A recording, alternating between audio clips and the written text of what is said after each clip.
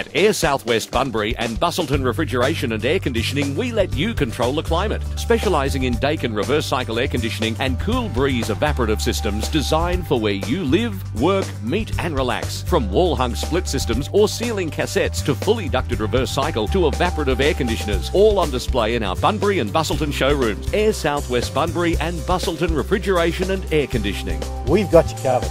From Harvey to Augusta.